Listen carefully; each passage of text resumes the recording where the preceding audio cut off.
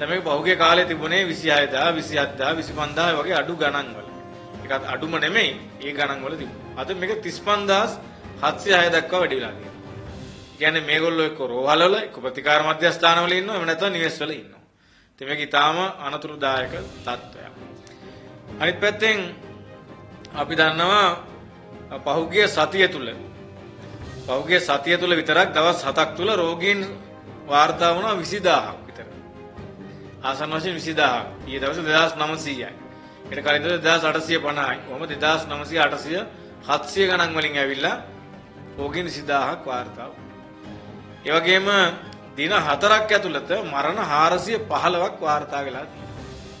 415 දෙනෙක් පහුගිය දවස් 4 ඇතුළත මැරිලා තියෙනවා.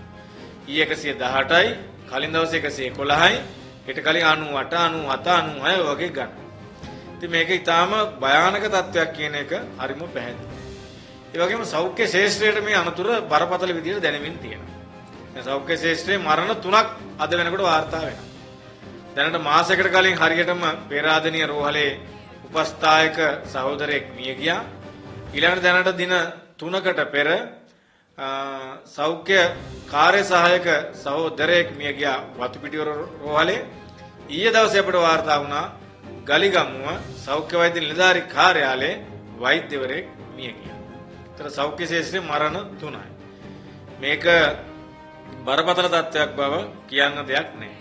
අපි ළඟ තොරතුරු වාර්තා වෙමින් තියෙනවා ආසන්න වශයෙන් හෙද නිලධාරීන් 1000කට වඩා මේ මොහොත වෙනකොට කොරෝනා වසංගතයට පිළිවෙලා එහෙම නැත්නම් වසංගතය හැදිලා තියෙනවා ආසාදනය හැදිලා තියෙනවා සමස්ත සෞඛ්‍ය කාර්ය මණ්ඩලය ගත්තම අපි හිතනවා 5000කට ආසන සංඛ්‍යාවකට කොවිඩ් වැළඳිලා තියෙන්න පුළුවන් කියලා. ඒත් එකම අපි දන්නවා මලමිනි මෝචරි වල මලමිනි ගොඩ ගහලා තියෙනවා. ජාතික රෝහල ගත්තොත් ෆ්‍රීසර්ස් එහෙම නැත්නම් ෆ්‍රිජ් සීතකරණ තියෙනවා 72ක් මේ 72 හැම එකකම මරණ දෙක දෙක දාලා තියෙනවා. එළියෙත් තියෙනවා. හරි ට්‍රෙෂර් මේ වල එහෙම නැත්නම් අර මොනවාද මරණ තල්ලු කරගෙන යන ඒ වගේ මලමිනිය තියෙනවා. කළුබෝයිල ගත්තත් මේක එහෙමයි. මොචරිය මලමිනි පිරීලා තියෙන්නේ. ඒක රාගම ගත්තත් එහෙමයි. කරාපිටිය රත්නපුර ප්‍රධාන රෝහල් ගත්තත් මේක තමයි තත්ත්වය. දැන් පැය 24ම වැඩ කරලා මලමිනි ඉවත් කරනවා කියලා කිව්වට ඒ වැඩේ තවම කරගන්න පුළුවන් උනේ කලුතර දිස්ත්‍රික්කයේ විතරයි. දැන් මේ පැය 24ම වැඩ. නගර සභාවත් එක්ක සාකච්ඡා කරලා මලමිනි පැය 24ම පුච්චනවා. නමුත් කොළඹවත් තාම මේ කරගන්න බැරි වුණා.